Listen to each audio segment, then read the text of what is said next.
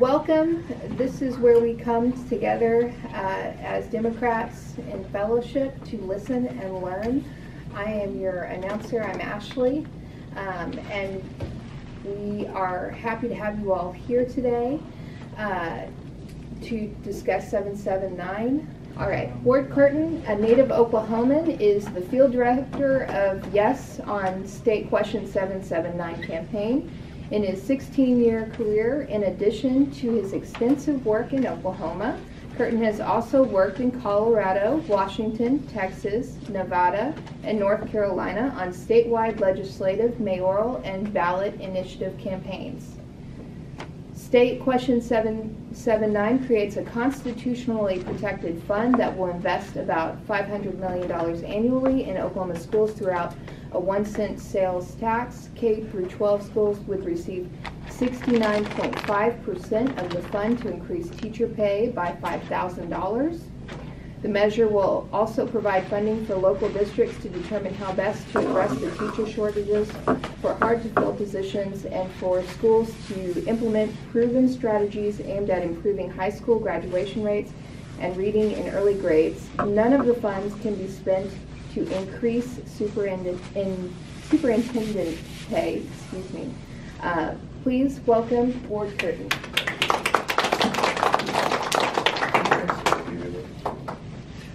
Well, it's good to be back among friends. Uh, she said, my name is Ward. I, uh, I grew up in Watonga, Oklahoma, which is out northwest. Uh, my mom was a teacher. Uh, I went to school in Tahlequah, uh, Northeastern State University. Uh, and I thought I was going to coach high school football and teach English. Um, but I was in a political science class and signed up for an internship, so I apologize you're stuck with me here today. Um, so I've, uh, I'm very proud of Oklahoma um, and our traditions, but one of the things that I'm not proud of is how systemically over decades we've underfunded education. Um, but it became personal to me. I was the baby in my family. I have two older sisters. Um, and then uh, about 18 years ago, uh, I had a nephew that was born. And so he was new baby of the family. And, uh, uh you know, so we've watched him grow up. And uh, he graduates college. He's going to be a senior next year. And uh, his mom's a teacher. She teaches music at Prairie Valley Elementary, just in the Deer Creek system. And, you know, I, I've helped his mom out over the years with Christmas and things like that, because we all know the teachers struggle. Um, and we began to talking about, we were, uh, it was, uh, we were hanging around her house one day, and I was talking to Patrick about where he wanted to go to school. And we've known where he's want, wanted to go to school since the kid was 10 years old. Sooner he's sooner born, sooner bred. Susan, he's sooner born and sooner bred. And uh, he, he wants to go. He wants to go to OU. of course, Perfect. we want him to. Uh, but later that night, my sister and I were talking, and uh, she doesn't know how she's going to pay for it. Single mom. Uh, you know, she's got 19 years in the classroom, has a degree, and is in a very good school district all his grades are right, and she doesn't know if she can afford to put him through school at Oklahoma's four-year public university on a teacher's salary. Um, so that's one of the reasons why I'm here. But, you know, just to get to know a little bit more about you guys, do I have any teachers in the room? Or retired teachers? Do I have any uh, college kids? All right. Uh, do I have any parents? Do I have any grandparents? So this touches us on a lot of levels, just directly, not to mention the societal impact that public education has on things like crime, healthcare, those sorts of things. So that's why I'm here today, and that's not just my sister's story or my family's story. If you talk to a teacher, every one of them has the same path about uh, class class size is too large, so they can't pay attention. Do they need to? uh, about teacher leaving the profession overwhelming. I, either they leave the profession or they go to another state. Every state that borders Oklahoma, they get a raise by crossing the crossing the line. In uh, in some school districts in Texas, their starting teacher pay is equivalent of what a 25-year teacher with a doctorate would make in Oklahoma. Teachers are leaving, and this is a generational problem. because they aren't coming back. Um, the teachers that do stay, God bless them, but morale is at an all-time low. Um, and they don't know how much longer they can afford to keep doing this. They feel like they're disrespected by the public. And uh, we keep on putting more kids in their classrooms and expecting more out of them. This is, we're, we're doing this wrong. And part of the reason that we're being forced to do that, larger class sizes, is that we, the, the, the state's leadership has chosen to remove money out of education for whatever reason. Either they lowered overall tax receipts or uh, they had, you know, different ideologies about how to fix it. But the, the problem is, is that we don't have enough money to make the steps forward in education. And it's been that way for a long time, and we have to make a big step. So I'm here to talk to you. I'm in favor of State Question 779. I'm going to talk a little bit about the policy. I'm going to be as neutral as I can, but, you know, I have an inherent bias here. Um, uh, to explain it and what it does, and then during questions, I'll answer it as, to the best of my ability. But also with this group, I'd like to talk a little bit about the politics um, and what this may mean for a progressive movement going forward in the state. So, uh, let me start with the basics of what State Question 779 does.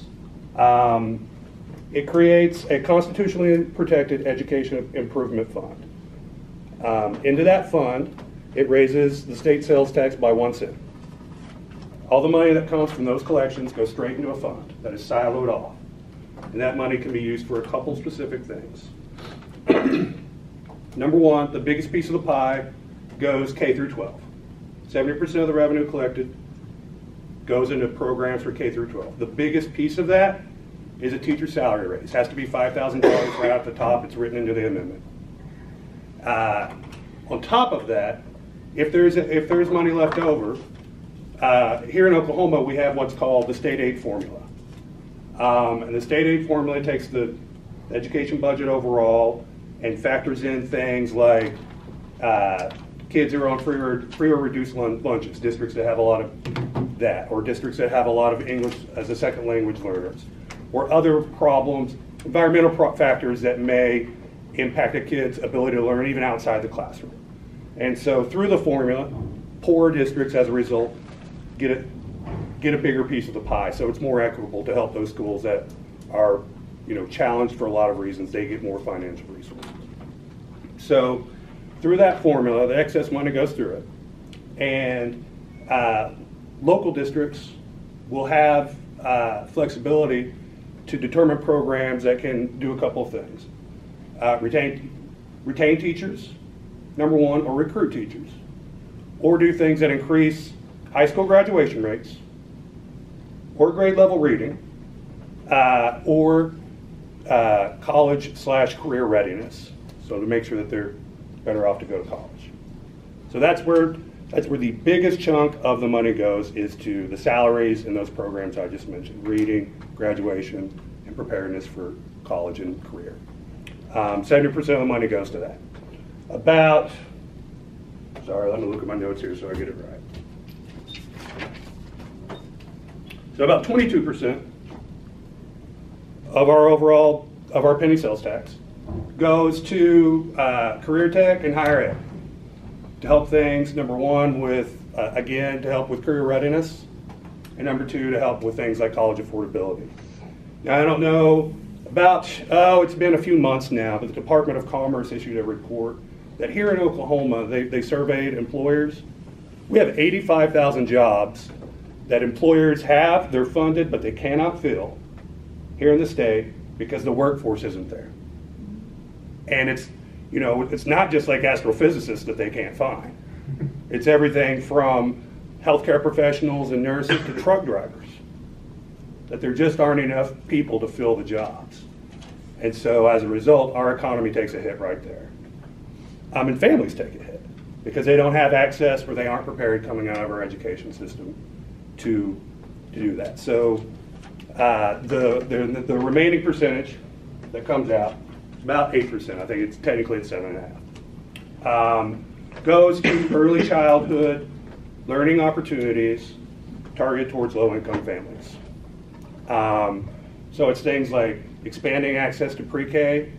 Um, but it's also, again, going back to some of these environmental concerns. First-time parents and teaching them nutrition habits. Um, you know, aid towards single mothers to make sure that they, you know, this, they have training on the simple stuff, how to schedule work, how to, you know, afford daycare, those sorts of things. So there's a piece of money that goes specifically, specifically towards my boss, I apologize. That's an important call. Tell David I said hi. So it, it goes specifically towards these at-risk or low-income children whenever, I think we're all, we're all familiar with the studies about the impact of early childhood education and what it means for a child's success going forward. So, in a nutshell, that's the program. It's paid for by one cent sales tax that everybody pays. It, uh, and that's how the money is allocated. But there's, there, are, there are a couple of other important pieces here. She mentioned that it can't go towards superintendent salaries. Another important piece here is that everything, two more important pieces, I apologize. Every dollar is audited at the district level to make sure it's going towards those programs that voters, if they choose to approve this, have been promised it will go to. So graduation rates, reading, and college readiness and career preparedness. Okay? If it doesn't go towards that, then you're subject to the you know, normal uh, uh, punishment that that you receive, you know, from the auditor's office if you're if you're out of line and spending money the, the other way.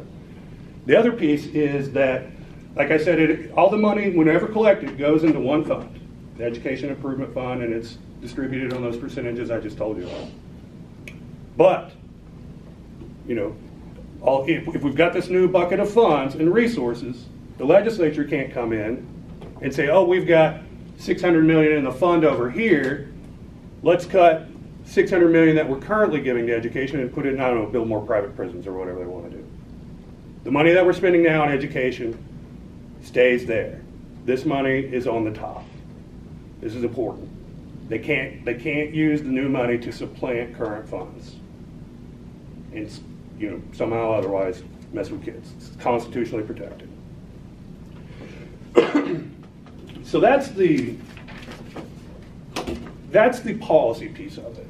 That's the nuts and bolts.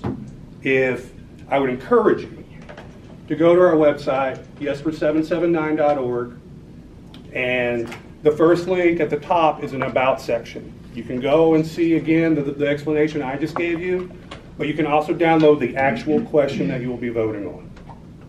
Read it all yourself. It's two and a half pages. A little bit of it's like lawyer gobbledygook, but I figured it out. What's the website? sir? Yes for 779 dot org. F-O-R. Uh, I'm yes, F O R. Yeah, that always gets me. Are we opening for questions? We are not. Um, I have a couple more minutes on a thing I want to cover. Of course. And so that's the policy piece, but there's, in everything, unfortunately, even with education, there's, there's, po- there's political implications here as well. Number one, yes, the supplant language is there, but we're, you know, I hate to go into a state and you build up an organization and it's election day and then I leave and nobody does anything with it. What this has done, what this crisis has forced, is education groups to come together. Unfortunately, in recent years, that hasn't always been the case. Higher ed was fighting against career tech, it was fighting against K through 12, and it was divide and conquer. They're all on the same page on this. School Board Association, Superintendents Association, teachers unions, uh, uh, Parent Teacher Alliance, um, every major education group that you would consider normally to be on our side is there and united in support of this effort. Um, that's important because if we win, then that success will will force them to stick together on issues and make, you know, really the children's lobby, the education supporters, make them stronger at the state capitol in the next session. The other piece of that is if we if we pass this, then the whole, you know, conservative mindset of that, like we've got to go lower taxes. People don't want taxes. That argument is blown out of the water. And we can start talking about real tax reform across a lot of different areas. Also, politically, we're going to win some Republican districts. And uh, our advocates are going to be able to walk in in January into, into those offices and slide across the vote total and say, We won your district. So again, uh, I- I'll wrap this up and then we'll go to questions if that's okay. We're putting a long-term, this is not a one and done deal. This is not how the supporters of this election view it, that we need a different apparatus, a different approach. Um, And we've taken an issue that traditionally progressives have owned. We've taken an issue that Oklahoma voters want solved, and we've provided a viable solution to begin moving forward. I'm not promising you a silver bullet. This is a first step. You know, from here, we gotta talk about tax reform, we gotta fix funding in other areas. Uh, we have to get on the same page about what's, you know, what's to be expected of teachers and, and students in terms of, of high-stakes tests and things like that. Um, but we're creating a, a movement that won't go away either at the Capitol or at the ballot box going forward. That is our goal. But it is not, it is not the final solution here. But a teacher shortage has led to kids not reading at grade level, which has led to kids dropping out of high school, or when they leave high school, they're not actually prepared for college, which has created a workforce shortage, which is a just, you know, we're on this cycle of self-destruction because we haven't made the jump and made the step to invest in our education system. That is my argument. I, uh, I will answer as many questions as you want to throw at me. I will stay here until, I've got a meeting at two, so I gotta leave at ten till, ten till two, but other than that, uh, I, I do want to make one caveat, like, I mean, I put out yard signs and recruit volunteers. I am not the policy expert on this campaign. Um, I'll try to answer the questions to the best of your, to the best of my ability, but if I can't, I may have to follow up with you over email. Uh, but I, I commit to doing that, whether you're for me or against me. That's my. And I think Ashley, I'll be monitoring the questions. What about the ones that are written down? Oh, this was for you to take notes, um, if you want to, if you want me to read them out loud to you, that's, that's fine too. Yeah. Is that what you guys want? Yeah, that was. Okay. Well, I'd like to just ask my own. You wanna ask him? Um, okay, so I read an article earlier this week that was saying Noble, if this passes, will be um, at a 10.25% sales tax. And the concern I have with towns like Noble, they already are struggling to uh, make enough sales tax revenue to um, fund their city. And um, if things like this pass, you know, if I was a citizen of Noble, I would be leaving to go to Norman to shop if they had a slightly lower sales tax. They don't though. They just passed an increase. Yeah, well, I would be going to other cities around me that had lower sales taxes, or if I lived on a border of the state, I would be leaving to go across the border to shop or shopping online as well, since we don't have um, enforced uh, usage tax or um, not usage tax, but the online sales tax. It's- Yes, it's not enforced.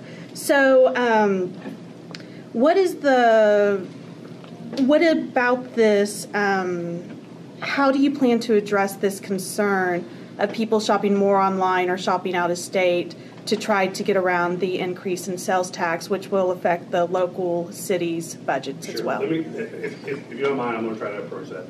Okay. Um, and I'm gonna use, hey, I think it's similar, but I don't know the, the Noble specific number, so I'm gonna go back to Watonga where I grew up, which is Blaine County. There are about seven schools in Blaine County, it's about hundred teachers total, right? Of them were to get a hundred, uh, a five thousand dollar pay raise, then that's five hundred thousand dollars direct into the local economy, right there. Number, number two, I I mean, anybody who's done any sort of economic development, uh, looking into it, probably understands what's called the multiplier effect. That whenever you do raises in a local economy, that money multiplies. We're spending overall, the money multiplies, because the people have more money typically to spend, so they go down and they buy at my friend's hardware store. So he has more money to spend now, so he goes and advertises in the newspaper. So the newspaper has more money to spend, so they go and money on whatever newspapers do. So that money, five hundred thousand. So typically, people estimate that new money, new spending like that, is a seven and a half time multiplier. Now, I'm, let's keep the math simple here. One point five million dollars, you know, if we just ti- keep it times three, that five hundred thousand dollar economic impact times three, which is half the normal multiplier. One point five million into a rural economy like that is a major shot in the arm right now. Um, in addition to uh, the harder to measure impact of providing quality education all the way across the state. So, that, so that's that's the first one. The second one is a is a valid is, is a valid point, but across the state we're pretty much at parity whenever it comes to sales taxes. Um, in general, online spending is, is increasing, just as our behavior patterns change, more people are buying online. That's a, you, you know, ultimately that's a federal question. Um, the, but, uh, if you try another method, people understand this. It's a penny, it goes towards the schools, and I know where it's going. Um, and they see it daily. Like the, you try to pass, say, a property tax, then we lose 70, 76 out of 77 counties. Because every farmer comes out against us. Um, you try to pass an income tax, and you, you lose a huge swath of bipartisan support. And it doesn't, it doesn't go. The, because we've researched all this, because we, like, you know, this is a big gamble. If we, if we don't win, then people at the Capitol can say they don't want more taxes and, you know, they really don't care about education. So the pe, the poor people who are impacted by this the Yes, most this is the most regressive. don't get a say they don't get to say, oh, we don't want our income taxes raised because. Sales tax. No, I'm talking about, he's talking about bipartisan, you know, um, rejection of an income tax raise. So that's why this was fashioned as a sales tax raise yeah. because the poor don't have a voice. This is morally wrong and it is going to cause children to go hungry. Okay, yes. I, I appreciate your opinion. I did 7.5% of this goes to low-income families to improve their early childhood learning. The formula is equitable, equitable in terms of school districts that face particularly income-based challenges get a bigger piece. 1,000 teachers we had to certify emergency. And not all those are bad. Some of that, one of the best teachers in my high school, he had to get an emergency certification every year because he clept out of all his math tactics. But he, he taught calculus and physics, and there wasn't anybody else in Watonga that could do that. So, um, not all emergency certifications are bad. But the uh, a study done by the University of Tulsa, and, they, and Tulsa gets this is way before this was ever happening. They're a private school; they get none of this money. But they did find that low low income te- low income teachers serving low income student populations are less connected to their school and are more willing to leave. And so what you end up with is overall younger entry level teachers going into these classrooms. Now, teachers, there are other studies that show teachers that whenever they hit year four and five become increasingly more productive in the classroom. I mean, you know, it takes a while to figure this out. It's, it's a tough profession, right? But they're leaving those low income schools before them. And so, and so whenever you just, I think it's been three or four weeks. Tulsa superintendent, superintendent, who's awesome, by the way, um, her applications for this for, for this coming year, her overall applications are down forty percent. Now, whenever you post a like when Tulsa Public School or Oklahoma City Public School, whenever they post an opening, they post what school it is. And so, where do you think the applications are the lowest? At the low income schools. Of course. So, you know, overall, across the board, even the good schools can't hire. I mean, you talk to superintendents, they've had positions open and they get two applicants when they used to get 40. Um, I understand, I understand your opinion. Um, I, I think these are factors to consider, um, as, as well when weighing your vote, but I, I understand and respect your opinion. All right, I have a question here. College and career readiness, are private computer-based programs allowed? Uh, Are private and career-based, I'm sorry, private and computer? Private computer-based programs allowed in college, in what you call college and career readiness, in, in that funding. To the best of my knowledge, private, private, no. So that e- either a private education institution or a private, what you've seen pop up like these, like Trump University and these kind of things. Right, To the best of internet, my knowledge, no. It's- But if internet a- school, But if a public university is offering that curriculum, I don't know that that would specifically, uh, I don't know that that would specifically be prohibited, spe- especially if they can improve that it can make the college experience more affordable. what about charter school? Charter schools, so this gets a little tricky. Yeah, that's and what I want to know about. It gets a little tricky because uh, charter schools are on the formula. You- You know more about charter schools than I do. Mm, Not Is really, I'm- that's what I'm trying to Technically figure. public schools, Right, because so they they're- pull money from the education. So they're on the fund. formula and they have to. But they do not have to meet all the same requirements that we do. But they do have to meet the same per pupil spending, if I'm, if I'm correct. No, because they don't have the brick and mortar. And they don't have people looking at it, like the school boards don't. So the salary money goes. Right. I'm, I'm pretty certain of that. I do, I do not know if the other, those other aid programs mm-hmm. go. And if I can send the follow-up to Calvin, he'll, he'll let you know. Is that, Okay. is that fair to everyone? Who is OK United opposing in 779? Who, like, who was that group? So Yeah. there's a, I, I understand and whoever asked this No, question, what's if it- What is it? Okay, United. So, uh, David, you may be able to, to tell more about them than I am. This is a group that just kind of popped up. They do uh, what we call independent expenditure, expenditures, or you might be familiar with it as dark money, where they get big pots of money and they can advocate for or against an issue or a candidate, and nobody really knows who wrote the check or what, what perhaps their interest might be. Um, They were active in the Oklahoma City mayor's race. They're spending heavily online against us, particularly in Oklahoma County. Um, It's got to be chamber related, I bet. But we don't know who, sure. we don't know who they are, like, to the name.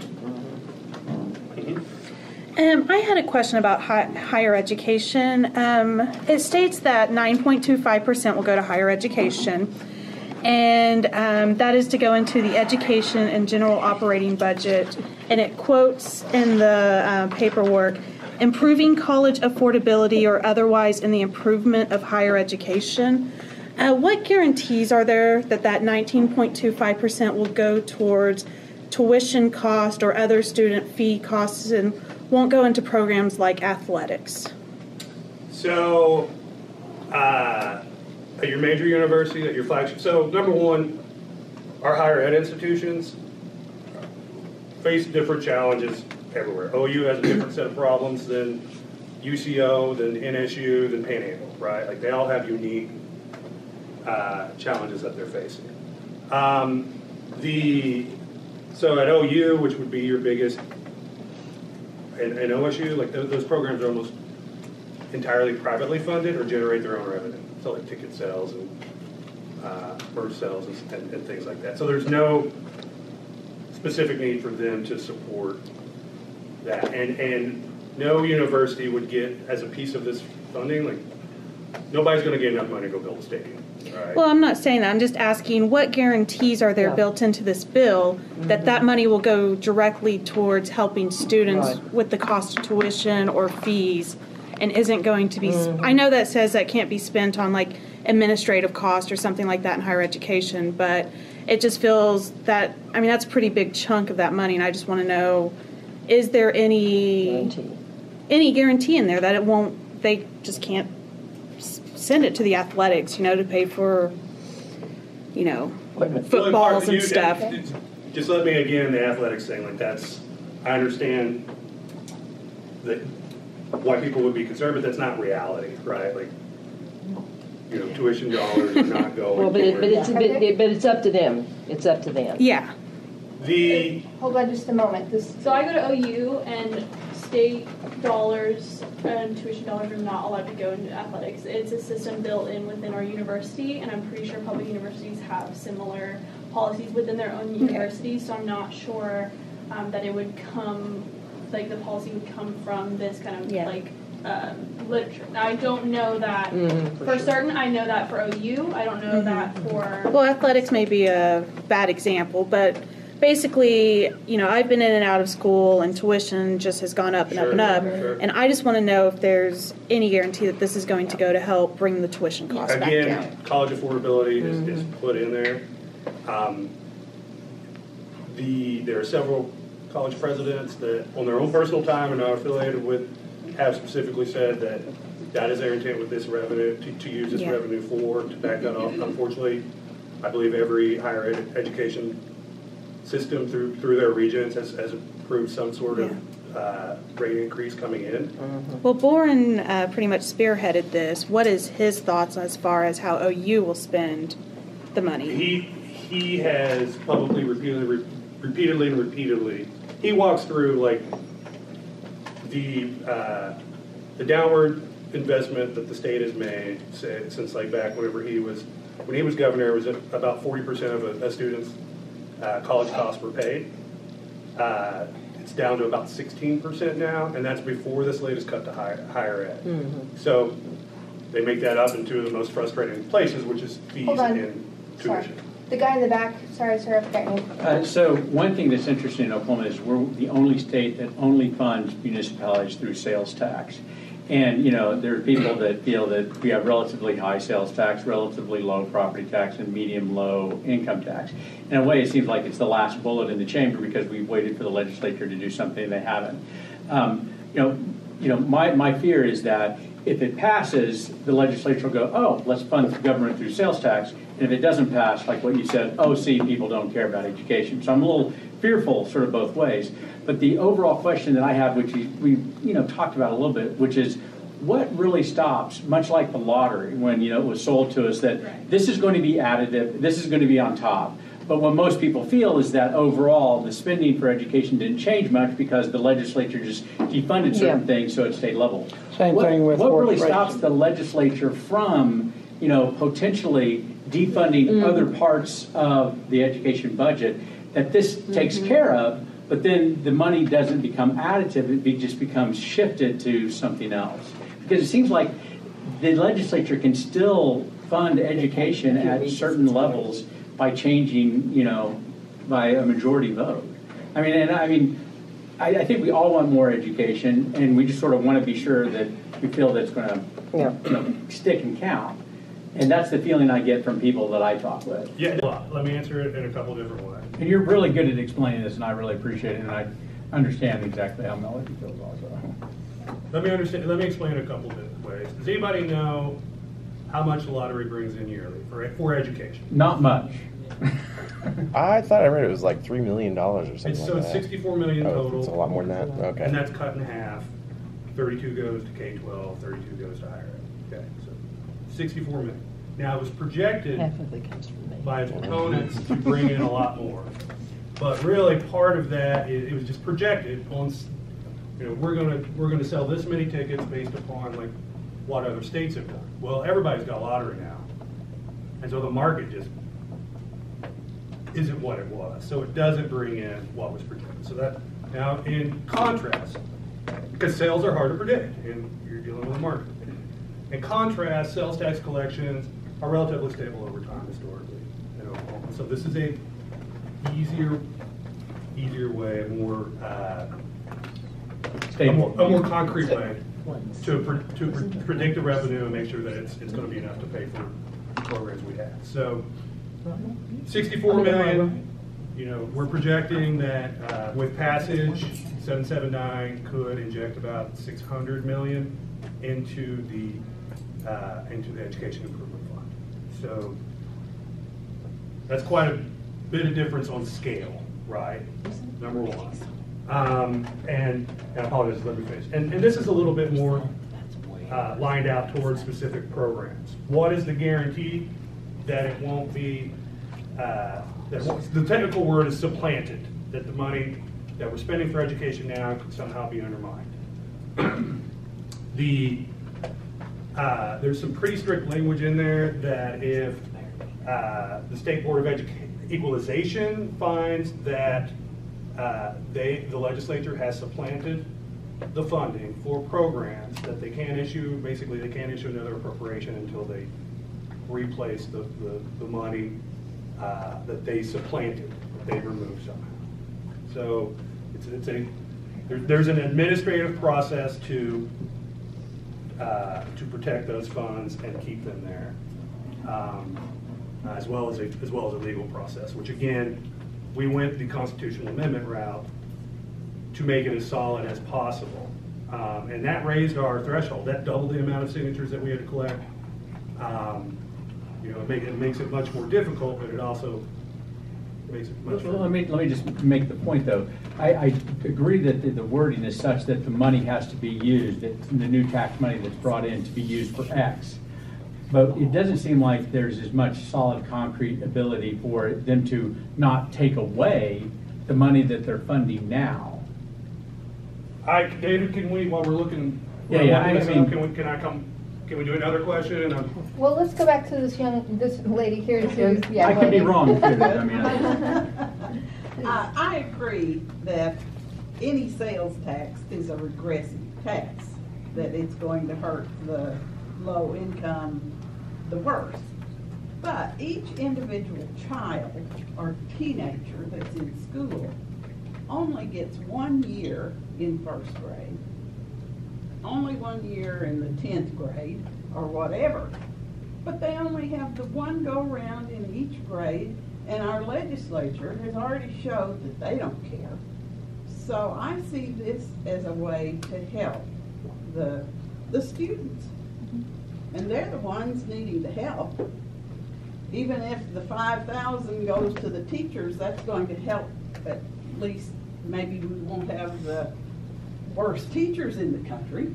Well, we don't. We Yeah, have we, we just have the lowest actually- paid. We not have the the lowest worst. pay, we're actually half in the nation, so they're getting, they're 49th as teachers, right? Lowest paid teachers. Lowest paid, by now, that's the passed? lowest South Dakota Okay, passed. so 50th, lowest paid, we're the last paid, and they are getting the, and they're still making, what, ranked 20, they're ranked 27, I in 25th or 27th? I think it's twenty-seven. That's how far I- 27th? I think that's what it was. So they're, they deserve their pay.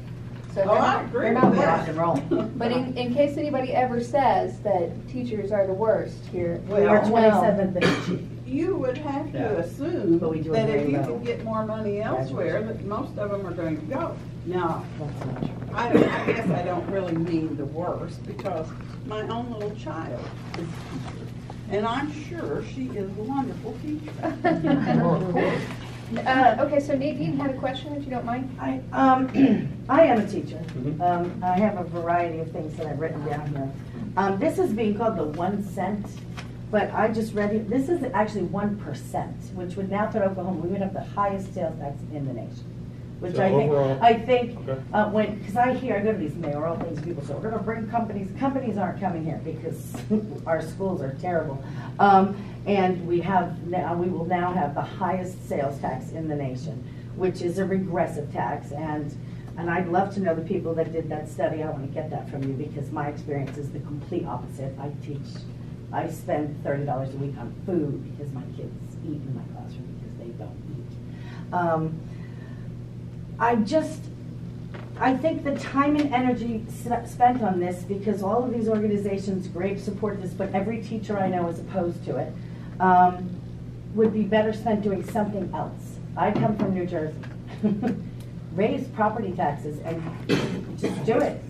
Change, spend the money to work with us when we change one seat and another seat and another seat, because this is bad news. This is bad news for poor people, and Oklahoma has a very high percentage of people living in poverty. And one percent makes the difference between my kids come to school in the same clothes they had last year because I don't have the money to buy the clothes for my six kids. And I just can't support this in any way, shape, or form. And I think your language here in this is very weak. I, I I don't know how you make the state legislature do something that they don't want to do. They cannot, this says the legislature shall not make any appropriations for the ensuing fiscal year until an appropriation in that amount is made to replenish the Oklahoma Education Improvement Fund. I, I see that these people that I've dealt with, they'll go home. There will be no funding. They would Well, rather they're- go They're home. constitutionally required to pass. Well, but they see that the constitutionally required to do all these things, and, and then at some point, I just don't see it I happening. mean, It's I- not enforceable. How are you going to enforce this? The- Can I, can I read the language for Hold on a everybody? second, that was a good question. How are you going to enforce Let me read the language. Yes. I just did.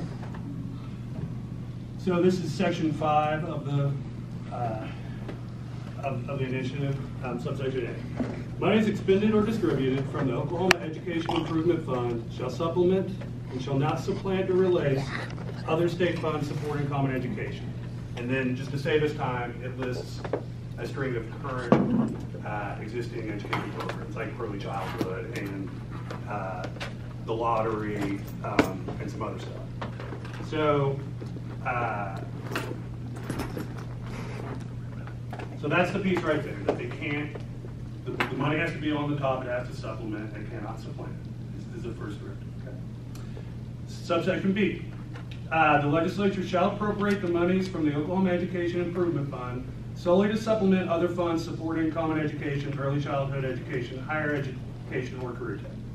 The legislature shall not appropriate such monies to supplant or replace any other state funds supporting common education or the other education things I just mentioned. Subsection C, this is the enforcement. In order to ensure that the monies from the Oklahoma Education Improvement Fund are used to enhance and not supplant funding for education, the State Board of Equalization shall examine and investigate appropriations from the fund each year. At the meeting of the Board of Edu- Equalization held within five days after the monthly apportionment in February of each year, the Board of Equalization shall issue a finding report that shall state whether appropriations from the Oklahoma Education Improvement Fund were used to enhance or supplant education funding. If the Board of Equalization finds that education funding was supplanted by monies from the improvement fund, the Board of Equalization shall spe- shall specify the amount which was supplanted. So the amount that, in- that in- under this hypothetical is this. Okay. In this event, the legislature shall not make any appropriations for the ensuing fiscal year until an appropriation in that amount is made to replenish the Oklahoma Education Improvement Fund. But how do you make that happen? Well, that- That's, that's, That's- you go to okay, so court, that's yeah. how he'll, he'll go to court. But let me ask you this, according, what was the name of the guy who, or the person that they'll put in charge of this? Who, who designs that? Who puts that person In, in charge of, of what? Of, of catching the, The the. State Board of Equalization. So it's the State Yeah. Board of Equalization, which, David, if you want, can you, would you mind Googling that and telling us the membership? Of, of the board. It's, a- it's, it's by position though, right? If you're, State Board of Equalization. Yeah, it's like Preston Doerflinger and then maybe Ken Miller. the Director of Finance, State Treasurer, Right. So is it a good board or is it, is I was it a gonna just say. a shady board? Well, some are elected and probably some are appointed, and most of them probably appointed by the, you know, governor. Speaker and, uh, So it's another term. So it's, it's, it's, it's some of it, some of, as I understand it, and I apologize, I don't know all the membership, sorry, some of yeah. it's they hold the constitutional office, and like one of the duties of their office is to serve on this board.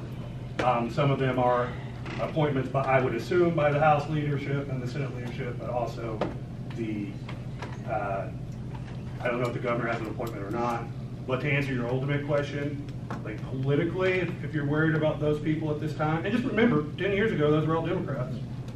Um, In twenty years, they will be. politically, uh, politically, the, your, your, your ultimate, uh, fight would be in the legal system. In the- in Okay.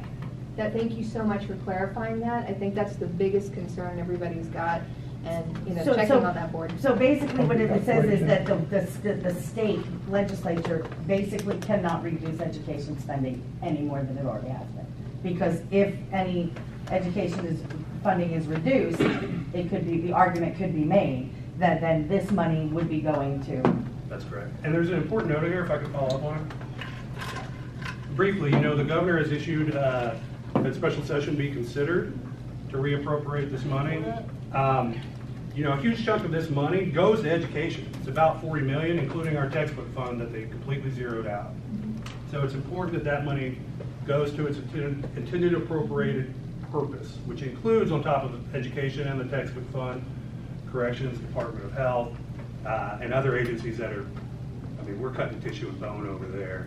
Put the money back, but so, to get to that, that money then could not be supplanted in the future. The forty million also goes back to education. Uh, There was a question in the back, right?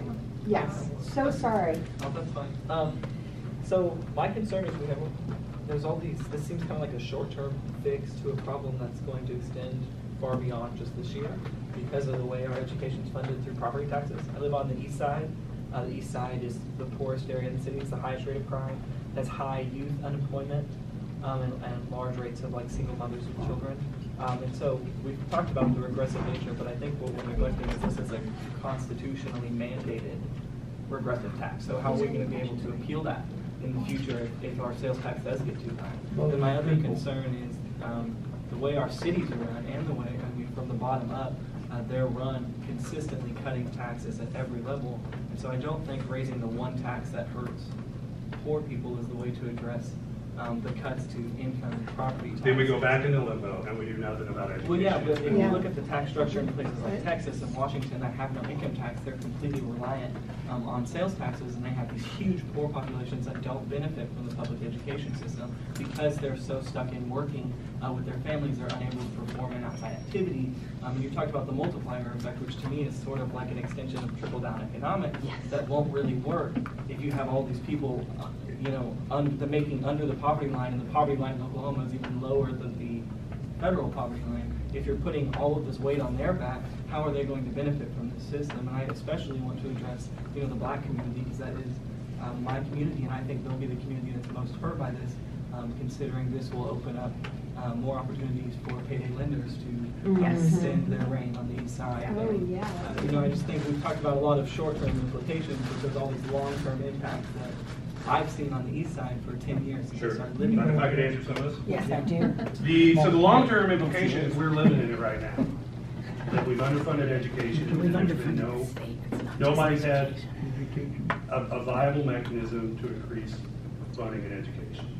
And so that, now, that's, number, we're living in the long-term problem right now. That this, and I, and I said, I'm not promising a silver bullet. Um, and some of it, some of the issues that I think you would see the education community like to address, you just can't get done in one vehicle. Like it's legally, legally you can't do it. You can only address uh, one thing at a time, basically. So we could have ran five questions, but we would have lost. And we wouldn't have the, the resources to to support and educate on that. So uh, I would argue that it's not, that, that, you know, it's a fix to the long-term solution that we bought ourselves. Um, I would go back to the programs that I mentioned earlier that address low-income areas. I would go back to the equitability of state funding formula as we know it. And I would go back to something I think that we can all agree on, that moving out of, uh, the, the best path out of a low-income situation, one of the, one of the most trusted is a quality education, which we are struggling to offer now in every, in, in nearly every community in Oklahoma. Did you? No, I, Hold on. yeah, on. let, We have to allow other people.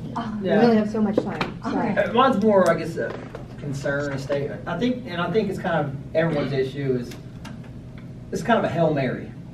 Yeah. We, we don't have any trust in our legislation anymore, so we've taken it on our own backs to try to do something, which you guys do, and I commend you for that. The problem is, that we all see is, is we'll fight anything in this state that doesn't make any sense.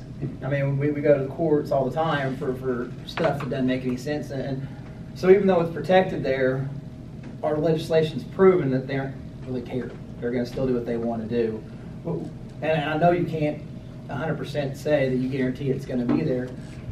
What, what's our steps after this? Say this does pass, how do we go about now making legislation push to still make it better? Just gives the teachers a five thousand dollar pay raise, it's great. But What about Don't forget the other stuff. Yeah, I mean, what about like in school? I mean, I can pay them a million dollars a year, but they don't have anything to teach with, what are we gonna do? Yeah, I, uh, it, your statement's well taken. Yeah. Um, and, uh, you know, I can't speak for those, for those organizations in any official capacity whatsoever. So this is personal Yeah. opinion that I've, but, but it's based upon conversations I've had with members of the profession and the legislature and other things. I mean, I think, I, I think you're right, that we gotta look at our testing structure and make sure that the changes we made make sense. Um, I think you're, uh, right that, uh, not only, re- you know, did we zero out our, our textbook fund, like, how are these districts gonna buy computers to prepare for, a you know, technological age? And how are they gonna, um, so, I mean, I would hope that members of the coalition, uh, that hopefully they're successful with this and they, they choose to get together and work on a program with teachers, or with, with teachers and with parents, important about what are some common sense steps that we can take. Right now, given our budget challenges, you know, they may need to be revenue neutral, but what can we do to support these teachers who ultimately end up supporting these kids and why some changes? Susan, I- Okay. you haven't got to go. Well, it kind of piggybacks off what you just said. I, and maybe what you said a minute ago. I mean, I, I go out and help a lot of candidates. I, you know, I knock, I'm a, I'm a door knocker. I love that stuff. And, you know, this year in particular, um, you know, of course, probably because some of the candidates are educational candidates, some of them, and it's being really highlighted, you know. But the very, one of the very first things that is said to me as far as concerns, you know, it, it, especially with younger people, is education and their and students and how poorly funded the schools are and so on. And uh, but I- and and you know and I hope you know it looks as if you're it's going to pass your state question at least at this point. But if it and I know that if it doesn't, it'll set back teachers you know issues for a little while and you know because they'll say people don't want to be taxed. But I challenge that because I, because of my experience out here on the doors, and be, in, particularly here in Oklahoma City, which Oklahoma City is very poorly funded, the public schools here. But is that I think that it's such a crescendo of shame and and dislike of the conditions of teachers, the students. You know, I mean Nadine, I hear stories from her school. I you know I hear stories from all of these schools. It's so horrific that I think it's inevitable that the the uh, that number one we'll have a better opportunity to elect more educational, you know, pro-educational driven candidates. I think that we have the chance to, you know, promote promote this in a better way as a party to get more candidates elected, to have these issues be significant, to not overkill uh, sales tax, which affects people who are, are without money, that are on disability or whatever their circumstances are. Poor poverty is so high, like you said. I don't give up on if it doesn't pass. I think that the cry, outcry to do something about this is so strong that I hope that as a party, you know, even independents, whatever, that we recognize that it is our issue. It is the key issue here, is how do we fund education properly without having it be on people, on the backs of people who don't have money? I, I just think it's a, a rallying cry. I know So how. One know way or how. the other, one way or the other. I don't Raise think the it's gross over for production us. tax back to And I know how to do it. I know how to do Yeah. it. Legalize marijuana mm-hmm. for recreational use. Yeah. Eliminate the, pr- the in- income tax. Eliminate your income tax. Colorado has more money than they know what to do Colorado with. is giving money back to its Get it citizens. done. Like, I don't even think it's gonna make the ballot for Memphis. Yeah, yeah, you're right, you're right. So like, Well, again, we're back in hypotheticals. I could give you, I got like fifty signatures. My grandson, I've taken over, his- over his education. Uh, He's going to Fillmore School in South Oklahoma City.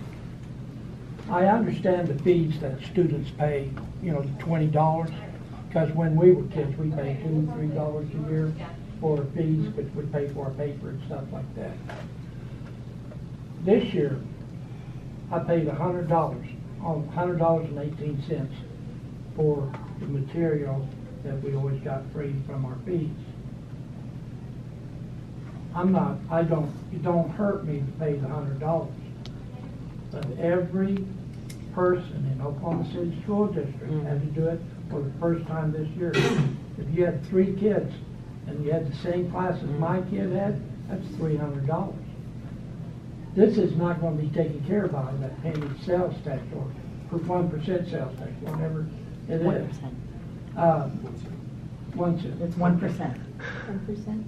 One percent. It's in the law. One cent One, for one hundred, since you said. That's that's the Yeah. same, that's the same difference. okay. That's six and a half dozen. No, Okay, it's but what, one but percent, what, say what it is. I would like to know, I saw a poll, I believe I saw a poll from Sooner Mhm. and they did it. Now, I saw what happened in Kansas this Mhm. Tuesday. I mean, they kicked ass, Exactly. you know, well, have you guys got the anger issue polled on this? Are we gonna be voting incumbents out that, you know, this coming year? Calvin, I, That's a, uh, That's a good it's, it's a question. good question, and, and, uh,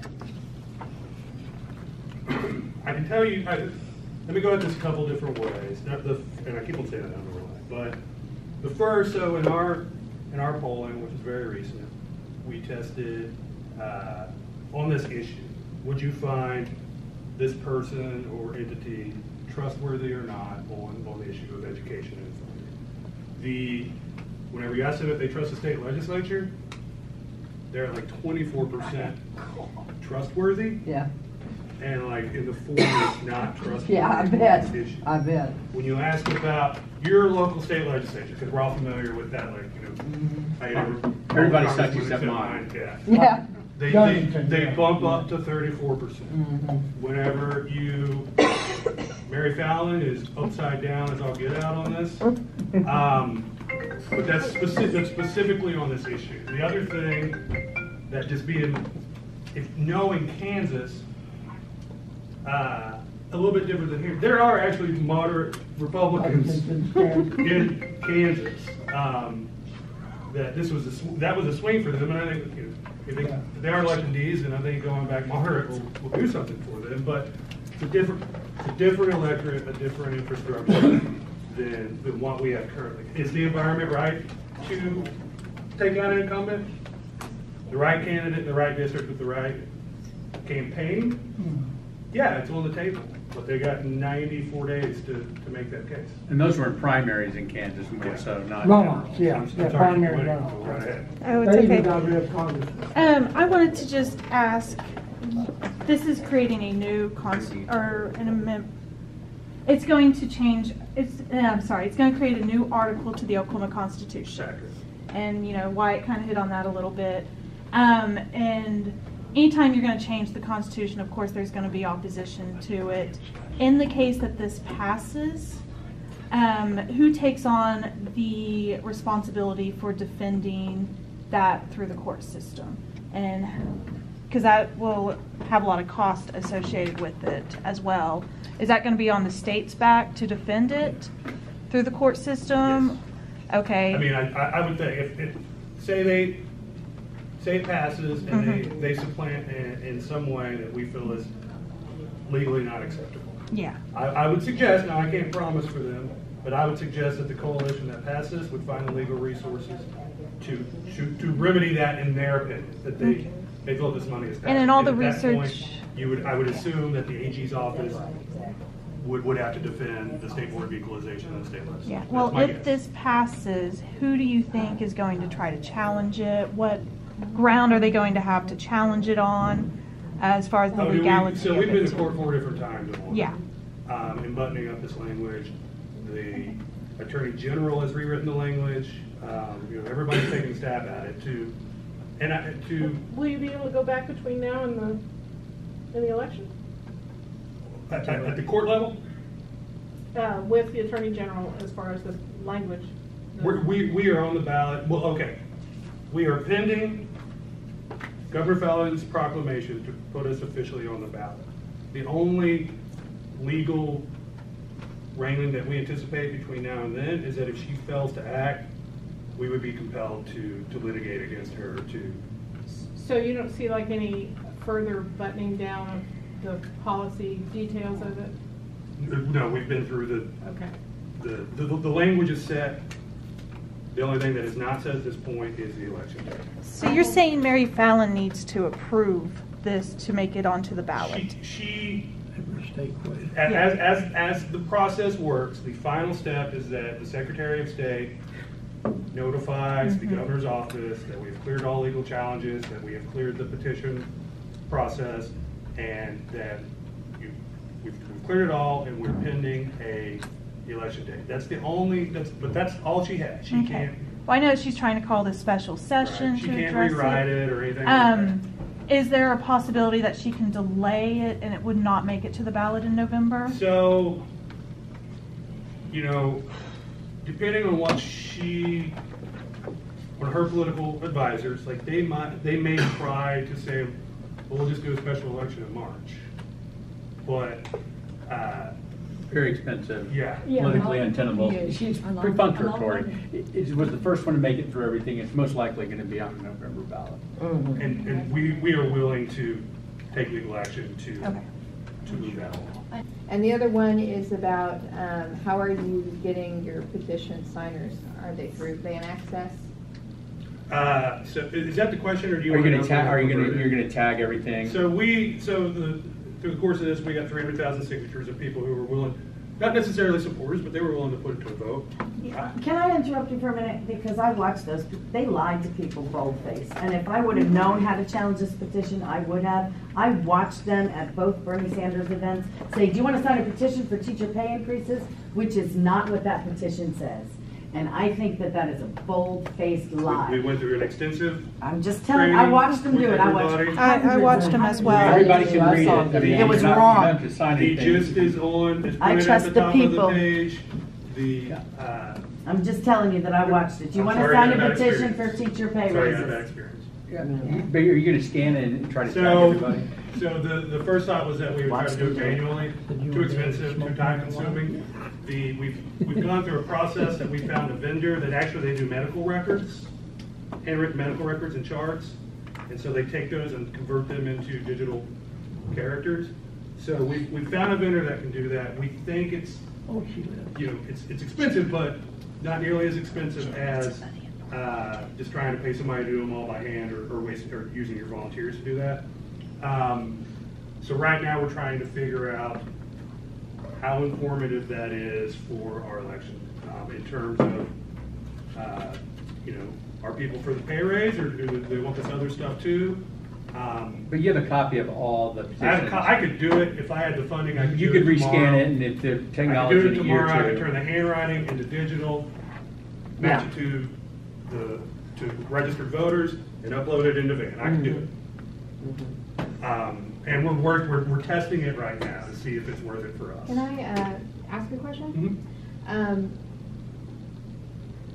what does your campaign, what does your campaign think that the likelihood that this will pass? I mean, do they, do they see this passing? Polling looks good. Yeah. So the, if we run the right campaign, I think we're positioned well. The polling looks good now, but it's inflated. Mhm. Um, Just naturally, in, in any state, when you ask somebody to vote yes on something, it's a harder election automatically than if you're asking them to vote no. Mhm. It's automatically is. Um, the, you know, the, our opposition's message, confusion is king. Um, in terms of, oh, well, it's not gonna do this or that, or, you know, uh, and, you know, we're, well, we're, we're, we're, we're trying to present, you know, at least the start of a holistic solution to, to education funding here, it doesn't do everything. Mm-hmm. Um, and if they get their hooks, you know, on one particular issue, then, then we lose voters. And then you lose voters naturally because it's a yes campaign. And then ultimately, people get to the ballot box and they support campaigns, but they have mm-hmm. questions about the funding mechanism mm-hmm. for whatever reason and the impact. We've, we feel like we can get our story, the stories of teachers and students and parents out about the shape that education is in. Um, if we, and, and if we can convince people that this money is going where they were promised. And so like, so you have to go through the whole program, that we can come out ahead. Um, But that's expensive, it's more, it's about three times more expensive for us to convince, to move people to yes than it is just to, just to tap into the cynicism and say, well, no. Have you done any polling? Mhm. So what is your actual polling number? It's very similar to the, General vote. to, to, to the, the number that was published. They had it at sixty-two, I can't. Sixty-two, And okay. and wasn't there, uh, you know, the, this- the question before to try to raise teacher pay a few years ago? It was polling positively too and went down in flames. Just collapsed in the last. You know, few and years. it was a different time, Mhm. but, and it was a different type of campaign, you know, so. But that's, it's not, It's not uncommon for efforts like this across the nation to, to be it, be it in the sixties now mm-hmm. and to lose on election day. Well, I would like to say one thing. I appreciate, I mean, I know that there's some difficulties with this and concerns about it and everything. The one thing I will say about it positively is that by so doing, this, running this effort, look at what it has created. It's created an urgency, even more of an urgency with the Republican Party here in the state through Mary Fallin and different people, that has made them that they want to even try to deal with this at this time. And it is, you know, so I think it's having a positive effect from that from that perspective, regardless of how it turns out. The Conservative Party line has always been, you know, we don't need more funding. Right. Uh, But, uh, you know, in Tulsa in the primary, their mayor's race was on the ballot. Mm-hmm. And his eight-year incumbent, Dewey Bartlett, of the Bartlett family, um, popular personally, long history, he lost in a primary to a Republican challenging from the middle. And education was one of the defining issues. And one of the key disagreements was the guy who won, his support for this versus the incumbent who was opposed to it. And the guy who won out- outperformed all expectations Right. Exactly. and ended it without, a- without a runoff. So, Yeah. Well, anyway, I mean, that's those one. I want. in I want Kansas- to. I want to say, don't you know? Think that just all of the con- the concerns about it and stuff negate that it, it's not a good. I mean, it's not a a necessary effort right now because it is. I appreciate that. Yeah. I just, I, I'll throw in, you know, I, it, it's upsetting to me a little bit that Bourne, in a way, took away the legislature's responsibility. Well, It's kind yeah. of like they're not doing their job, but by, th- that was one of the biggest gifts the legislature could have. It's like, oh, well, we don't have to figure out funding. We don't necessarily have to tax oil and gas or, you know, stop the income tax. And it's just one of those, you know, best, worst, you know, solutions. But, you know, I, I understand that argument. Uh, two, two things. Number one, I think, I think urgency is real here. We have to start doing something now. And And a couple we can wait candidates. for them to do oil and gas or income or wind or whatever they're gonna do. Yeah. Or we can take a step. The, the other, but the, to the other argument that, oh, you're letting the legislator off, the legislature off the hook. Maybe or maybe not. I'd argue we're putting them on the hook. Number one, they gotta show a position on this before November. They won't, every- Right. everybody's gonna have to pick a side. Yeah. And they, you know, this is concrete, it's not something that they go home to their district and they're like, oh, you know, we tried this Yeah, bill, but it yeah. didn't work, it lost in committee, and they can kind of Exactly. BS their way out of it, like this is black and white, number one. Um, you have to pick a side. I don't know. I would argue with that. I've Yeah. talked to several uh, people who are up for election. They're like, "Well, you know, I'm still trying to decide on that. I think teachers are important, but I don't know. I mean, it's so tough because," and they like give weigh the Well- pros and cons. well, that's because I haven't that- gotten a straight answer out of very many politicians. Because I know a lot of, most, te- uh, every teacher I work with, most teachers that I know are opposed to this, so. Well, I mean, I, I can, I I've do got know thousands one. of teachers. Well, okay, but I'm, I just, my entire, everybody that I know that's a teacher is opposed to it because we teach it with these Right. people who are going to be adversely impacted by this. I- And it also takes away that, yes, the teachers are running over here like, hurry up, you know, hit the poor people for uh, one uh, while the state is bleeding, you know, I mean, it's, it, it feels morally bankrupt to say, hey, screw you, social and children's welfare, we don't care. Yeah. We're gonna get the teachers, it just feels wrong all the way around on every level. I've heard an argument, and if I can share with that. Uh, the argument is, you know, we don't like the way it went, or the way we, this is going to the seven seven nine, but it is the only viable That's key. option. And I've heard that from a teacher, um, who is saying that, you know, basically, um, if we don't do this, we're dead in the water next year, and the next year, and the next year. I mean, we, you, could- Um, that's what I've heard. this could fail and you could wait on the legislature to do something. Yeah. Right. So. And that's the argument some candidates have gave me, Um, you know. I mean, they, they have failed for so long to do this, and we gotta take over- ownership here. Republicans and Democrats have, you know, have led to some of this tax structure problems that we have. Um, So, We- So I just wanted to say that there is, like, I have heard that argument. However, you know, from what you've said today, I'm still, I'm still not convinced that this is the right answer. As a person, I'm not. Well, as I would, that may be a good, and, and I respect it, and that may be a good note to end it on. No, I don't Um, wanna. Please Yeah. don't interrupt my Well, no, note. but- To but- piggyback, to piggyback off what she Enough said, talking to me, I know what- enough listening to me. Go out and talk to parents and teachers and kids and, and, and ask their stories. If you, if, if you have a grasp of the situation, ask their specific story, because it's not just, uh, you know, my sister, you, you know, it's, it's gonna be hard, we're a fair way to put the kids in college, but it's gonna be, it's gonna be a little bit harder than it should be, it should be a little bit easier. Yeah. Talk to the school board member who, you know, he or she got elected to the school board to help their kid, and they're, instead, they're cutting their field trips or increasing their tax sizes. Like, go talk to to them. I mean, I'm, I'm a political hack. I care about this, but, you know, ultimately, I'm biased. Go talk to teachers and students and parents and, and listen to their stories and, and make your decisions. I- Vote